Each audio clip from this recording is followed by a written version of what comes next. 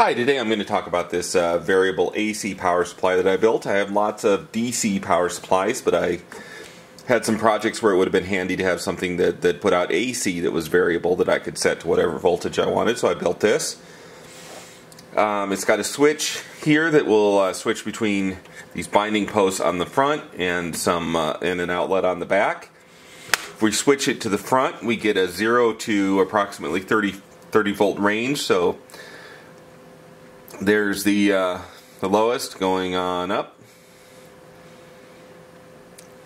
All the way up to uh, 34 volts. And then if I switch it this way, um, the binding posts are now disabled. But we now have a range that goes from 0 all the way up to 140 volts. Meter's not doing us anything there, and the uh, the output is coming out this uh, receptacle in the back. So use that to power up old radios and that sort of thing. So the basic idea is to use something called a variac, also known as an auto transformer. So we'll draw it on here. Looks like a transformer, but instead of having two windings, it only has one. And up on this end, you put in zero volts. This is your line side, that's AC coming in from your house. And then on the other side of the transformer, there's a tap which can be moved up and down along the winding. And this gives you, still got zero down here, and up here we can have anywhere from 0 to 120 volts. So if we move the uh, tap all the way down here to the bottom, we get 0. Move it all the way up to here, we get 120. That is the basis of our uh, variable power supply. Now I didn't want 0 to 120 volts. I wanted uh, about 0 to 30 volts. So what I did is I took this and I hooked it up to another transformer.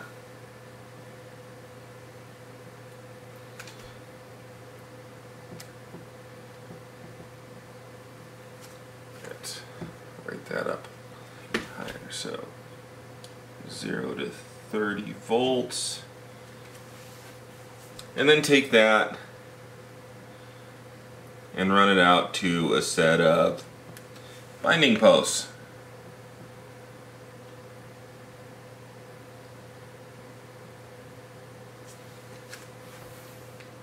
Okay, so that gives us, uh, you know, we can adjust this. We get 0 to 120 volts. The whole 120 volts going into this transformer will give us uh, 30 volts out. If we have less than 120 volts, we will get less than 30 volts out. So this here was a 28.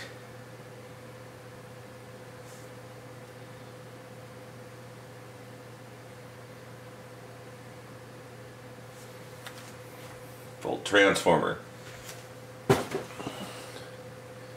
So we still have the basic circuit of the Variac and the 28 volt transformer giving us the, uh, the binding posts for our low voltage power supply, but also wanted to have a high voltage power supply so we have an outlet up here.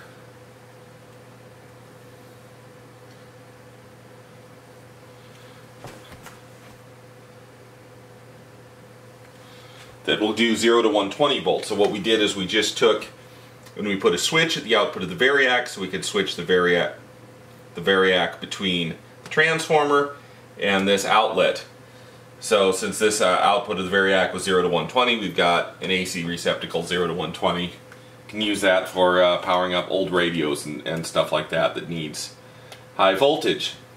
Now the other thing I've done is I added a digital panel meter. Digital panel meters you can get on eBay very cheaply, so like uh, five bucks or so.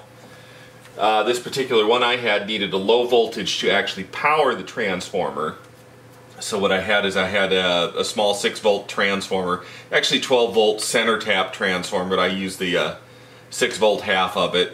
So 120 volts from the mains comes into the transformer and puts out 6 volts to run the panel meter. That powers up the panel meter all the time. And then the panel meter has two lines that it senses the voltage on. And I wanted to be able to switch this between here and uh, here. And I didn't have enough poles on my uh, switch to do that, so I added a secondary relay over here. And the relay simply takes these sense lines and it switches them if in from one position where they go to the outlet, the relay switches on, then it switches this over, this over, and then you read from the binding post instead. So that gives us one switch that switches between the two outputs and switches the meter between the two outputs. Hi, here's the case that I'm going to use to build the power supply. I've already cut a bunch of holes in it. Square holes, I used my uh, nibbling tool, very handy. Round holes, of course, I used a drill bit. Um, see what we've got. The uh, display is going to go there. It's going to be a toggle switch in the back It's going to be this uh, line entry filter. Decora outlet will mount from behind. Left a spot here for a fuse holder.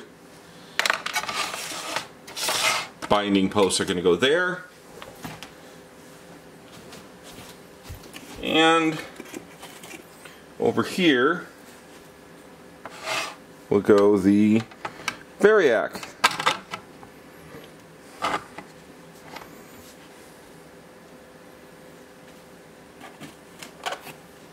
I've got uh, two transformers that are going to mount inside of it. Let me see if I can figure out where they go. Yeah, the big one goes here. That is a 28 volt transformer. It's going to let me have uh, low voltage out to the binding posts. This little Radio Shack tiny uh, 12 volt transformer is going to go there. And I'm going to use that to run uh, power for the meter. Also have provision here for a relay. It's going to let me switch the output, or it will let me switch the uh, meter sense between the 120 volt outlet in the back and the 28 volt um, binding post on the front. As far as projects go, this was a fairly simple one. Back here we can see the, uh, the line input filter. This has a jack on it where you can plug your standard computer style power cord. Above it is a fuse. So uh, hot comes in, runs to the fuse, goes out to the uh, variac, and comes over this way and hooks up to the relay. Uh, neutral is, uh, most of these white wires are neutral. They're kind of running all over the place. We've got neutral to the power switch on the back. Neutral goes into the uh, relay. Neutral comes over here and hooks to the uh, variac. Neutral also hooks to this switch. This toggle switch lets us switch between the binding posts on the front and the outlet on the back. The big transformer here is to give me my front panel jacks. This is a 28 volt transformer. So that gives us roughly uh, 0 to about 30-ish volts when hooked up to the Variac. The small transformer, this is a little Radio Shack transformer, is a 12 volt transformer. I'm using the uh, 6 volt side of it to run over here and power the digital panel meter.